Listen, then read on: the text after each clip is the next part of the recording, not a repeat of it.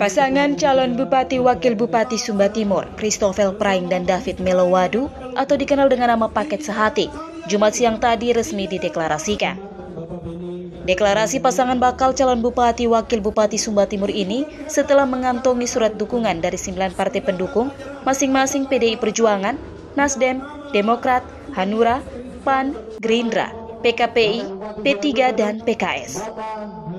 PDI Perjuangan sebagai partai pengusung utama paket sehati bertekad, selain akan memenangkan pasangan bakal calon Bupati Sumba Timur ini, juga akan memenangkan pilkada, minimal pada enam dari sembilan kabupaten di NTT yang menyelenggarakan pilkada pada 9 Desember mendatang.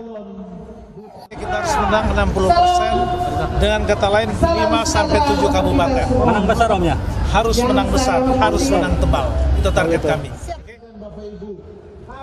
Deklarasi paket sehati yang berlangsung di lapangan Rihi Eti, Kota Waingapu ini dihadiri ribuan pendukung pasangan calon yang datang dari 22 kecamatan di Kabupaten Sumba Timur.